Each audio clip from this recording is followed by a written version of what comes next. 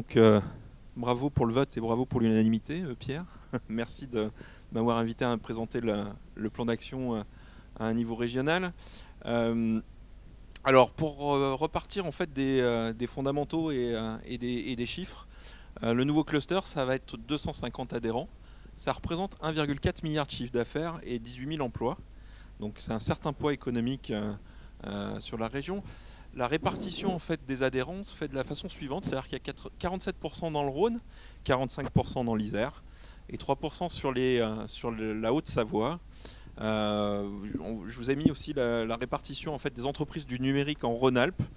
donc vous verrez que du coup l'Isère est, extrêmement bien représentée et qu'on est un petit peu sous-représenté au niveau de la Loire.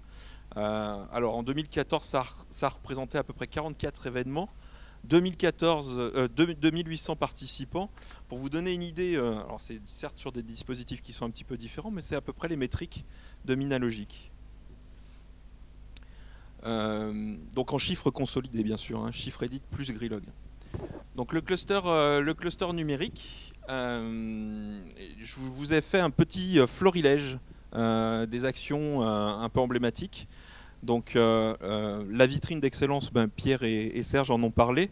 Donc c'était intéressant parce que c'était justement un dispositif Grilog qui, euh, dans le cadre de, la fusion et du cluster numérique, a été régionalisé et qui a extrêmement bien fonctionné puisqu'on a failli avoir le, vice-président Jean-Louis Gagnère au lancement qui a au dernier moment pas pu venir, mais en tout cas qui, avait, une vraie volonté de vouloir venir sur Paris pour soutenir ce dispositif.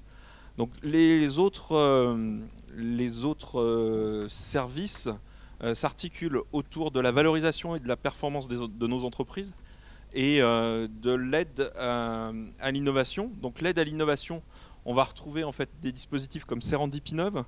Donc pour certains d'entre vous, peut-être vous connaissez, vous commencez à connaître le nom Serendipinov, puisqu'il y a eu, il y a eu deux ateliers qui ont été organisés sur Grenoble sur euh, la thématique euh, Big Data et énergie euh, et qu'on a fait justement en, lien avec, Minalogic.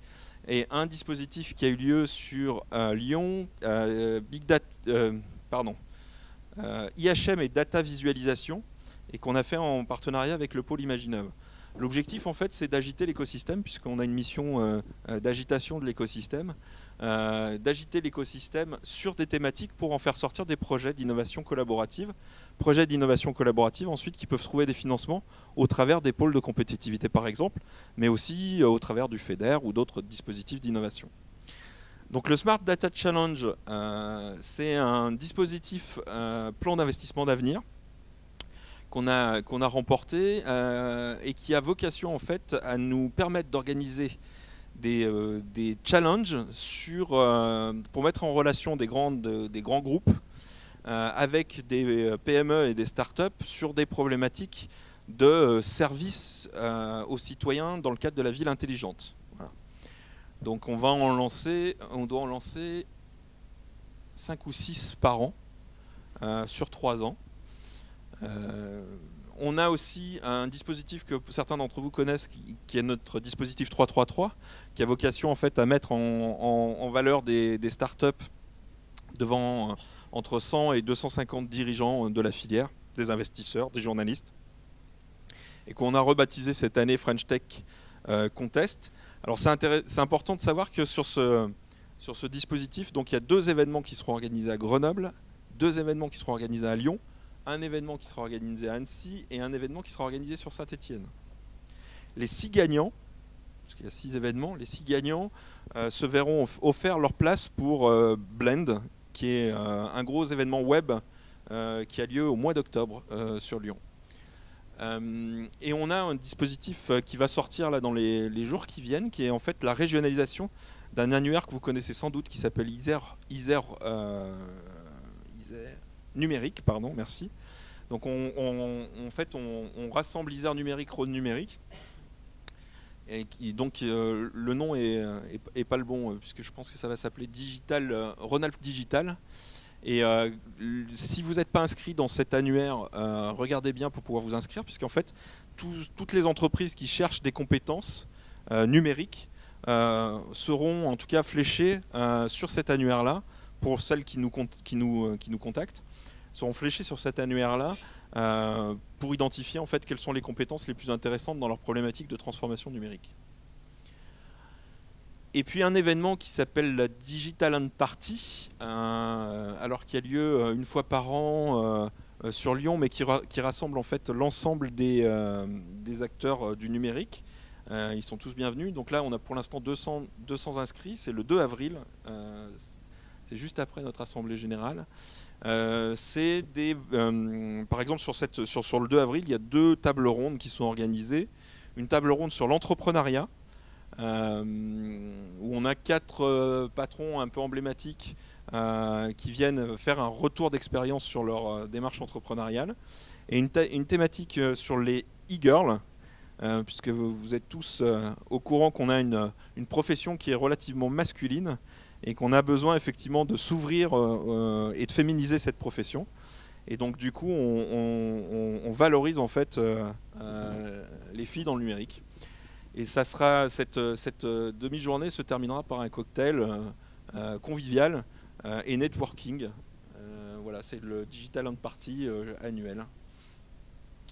Voilà un exemple. Alors, c'est n'est pas toutes les actions qu'on mène au, niveau régional. Hein. C'est un petit, florilège de certaines actions qui sont structurantes sur la partie innovation et sur la partie valorisation des membres et, performance des membres. Donc, ce qui est important euh, pour vous, c'est que Pierre et Serge en ont parlé, mais dans le cadre des comités territoriaux et de l'animation euh, territoriale, euh, si vous avez des besoins, si vous avez des thématiques à traiter, il ne faut pas hésiter à faire remonter les problématiques, puisque justement, une association, hein, ça fonctionne dans, les, deux sens, ou plutôt en cercle, vertueux. Donc on, est, on est au service de nos adhérents sur l'ensemble du territoire. Voilà.